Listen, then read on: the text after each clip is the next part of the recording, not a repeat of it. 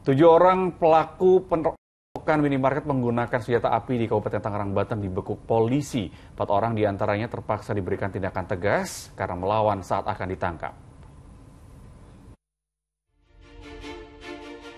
Inilah aksi perampokan menggunakan senjata api di sebuah minimarket di kawasan Mekar Bakti, Kecamatan Panongan, Kabupaten Tangerang pada 26 September lalu.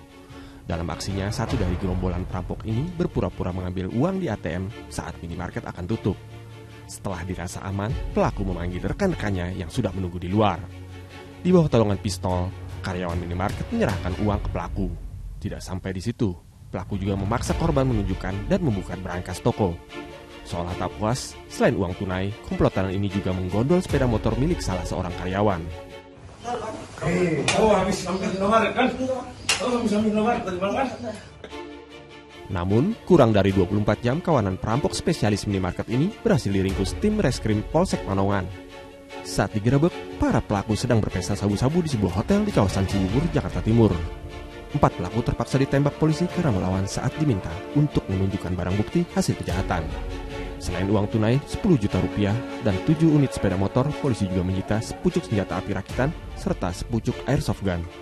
Rabu siang, polisi menyampaikan bahwa komplotan ini sudah lebih dari 20 kali beraksi selama satu tahun. Setelah kita interogasi dan mintai keterangan ya dari ketujuh tersangka ini, ya kita dapati bahwasanya mereka sudah melakukan aksinya lebih dari 20 TKP yang ada di Jabodetabek.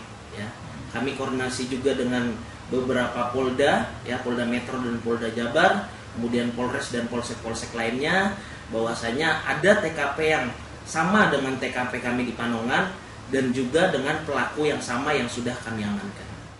Polisi masih memburu pelaku lainnya yang termasuk dalam kawanan perampok spesialis minimarket ini. Para pelaku kini dijerat pasal berlapis dengan ancaman kurungan minimal 5 tahun penjara. Syahbudin Atar melaporkan dari Kabupaten Tangerang, Banten.